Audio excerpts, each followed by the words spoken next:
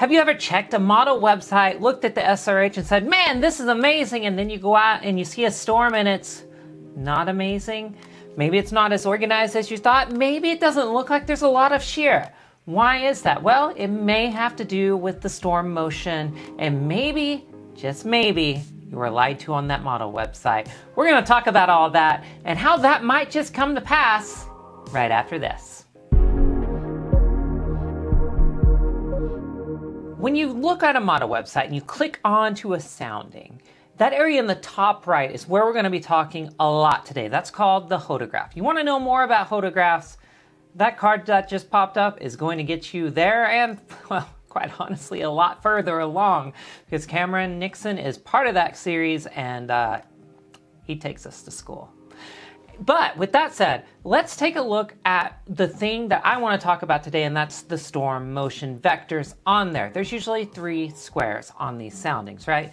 There's one that's usually up toward the top, and it's an LM, that's the left mover. There's usually a brown one in the middle somewhere. That's the mean wind motion. And then you have that beautiful box that connects everything to the squiggly lines of the hodograph that we look for for SRH, and that's the right mover, the right motion. So, what we're going to talk about today is how models are not going to get storm motion exactly right. And in the real world, they may not move as right as they should be, should be uh, initially, and they may not ever get there. And we're going to talk about that. We're going to talk about how that affects storms, how that might affect your tornado potential, and when you can kind of anticipate this. We're going to talk about all that.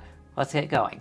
Now, of course, you have probably looked at a model sounding and you've seen all these motions. And of course, you probably, at this point, this is more a more advanced video, you know a little bit about left movers and right movers, right? So a left mover typically is going to be anticyclonic. It's going to be one of those left split supercells that are coming screaming north away from the right split, the cyclonic supercell that you're looking for for tornadoes, right? That right mover is going to be the tornado one, and the left mover is going to possibly have huge hail. And it's also going to wreck everything north of it. Not that I'm bitter about a previous chase with that. Not, not that I am. No, no. So, but we are going to look at how these are just estimates. That's the big thing. These are just estimates. These are not definitely where storms are going to move. You cannot set your clock to these. The science of storm motion is very complex, and quite honestly, it's not settled either. But let's take a look very briefly at a little bit of why a storm, and especially why a supercell turns right. And a supercell moves right because of pressure differences around the supercell. There's a couple of schools of thought on how this is. We're not going to get bogged down in the science on this video, but typically uh, when you look at storms, they're propagating, right? They're, they're oftentimes propagating. That means one side's dying, the other side's growing, and they're just kind of moving along like that. And these storms love to propagate toward low pressure, which is usually located on the south or right side of a storm, a supercell storm in this instance. And this area of low pressure will bring that propagation toward it because these storms love propagating to that low pressure because that's where it all the all that magic happens. And so when this happens, these storms will tend to turn right. And now, depending on how far right it is, is a whole set of circumstances. And there's a lot of uh, different views of thought about how all this happens. Very complex. But I think the thing that you need to keep in mind is that storms, especially supercells, are going to turn right, and they might be uh, a little more right or a little less right than that, that right moving vector on soundings. And one more thing to talk about there is that how storms move is probably situational. I'm a big believer in a situational theory about storms. And with that said, that, that, that what I mean by that is that I think that every environment is unique and the things driving like why this storm produces a tornado versus why this storm didn't. But this storm also produced a tornado, and these two that did don't really match up. I think it's situational. I think there are a variety of factors that cause storms to turn right or produce tornadoes. And I think that because of that, no two situations are the same, which is why this is always going to be, well, it's going to be pretty hard. One more note on a right mover, though, that I think the, the, practical way to look at this is if you are in an environment that supports supercells and you are in an environment that can produce tornadoes, that supports at least that possibility, when you see a supercell turn right, it's time. Like when that supercell turns right, that thing is ready to rock and roll. That I've seen so many supercells turn right, then produce tornadoes. It's almost like part of the formula. It's not quite, but it feels like a very big part of the formula. It's something you look for. And I'm telling you, when those supercells turn right, you, you be, it's time. Be ready. Mid video reminder well, hit that subscribe button. There's a lot to learn. We're about to get into some cool stuff. Let's get moving. Let's go. Okay, so let's talk about how these changes in motion can affect storms and can affect the SRH.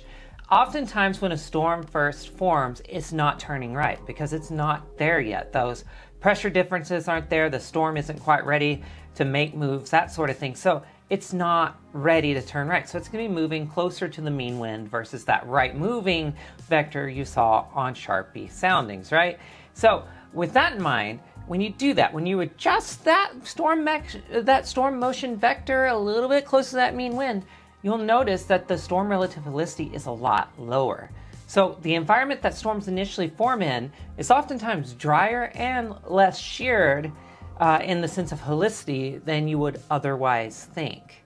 And because of that, these early, the early versions of storm they sometimes look like this. They don't, they're not really looking the part it's when you get later in the day, as you move forward in time. Sometimes storms form and they immediately go to tornadoes. That's because of boundaries, could be because of extreme instability causing those pressure differences really quickly and all that stuff till a tor- storm wants to turn right in tornado. But not most days, most days, uh, storms are going to take a little bit of time, right? They're, they're going to take a little bit more time to get going and producing tornadoes. So when they're first up and they're not making that big right turn, they're not really maximizing their environment. When you do see that right turn, you can see what happens here, and you move toward that right vector. Isn't that amazing? It does, you have big things happen. What's going to happen with storms when they turn right? Two things are going to be true at once. They're going to turn right more southerly, most usually, or easterly, southerly or easterly, and they're also going to slow down. And because of that, your your vote vector from your mean wind to your right movers almost always to the bottom and left, right? And because of that, you just increase that SRH, you increase the vorticity going into these storms.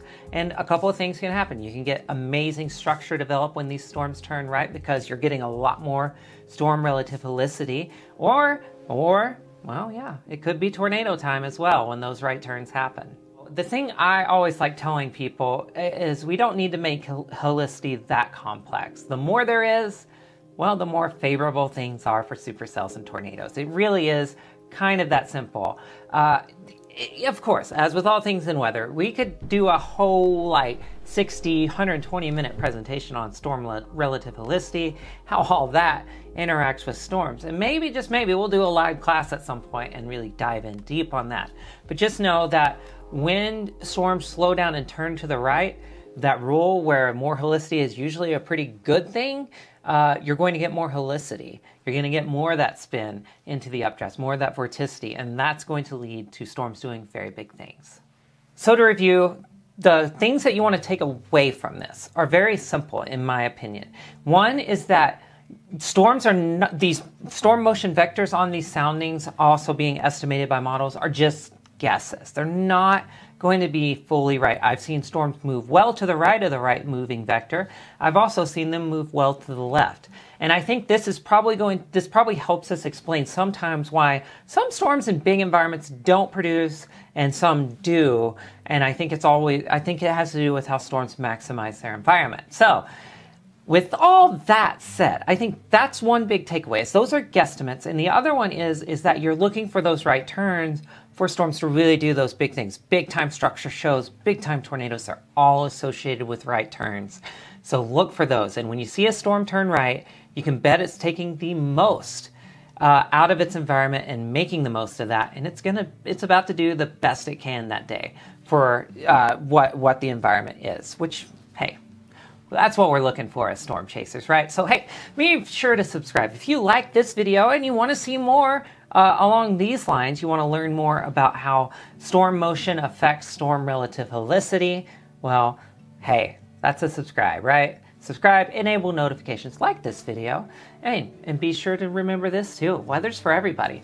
I, if you if this confuses you and you need to go to the basics, weather's still for you, storm chasing's for you, storm spotting's for you, all of it's for you. Because storm chasing is for everybody, weather is for everybody.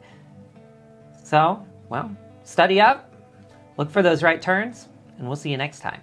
And when you see this in action on a day or two, it might really make sense. So, with that in mind, oh no! Let's go! Let's turn it off! Oh no! Oh no, I'm making more noise. That's so bad. I gotta turn it off. There we go. Okay, let's try that again.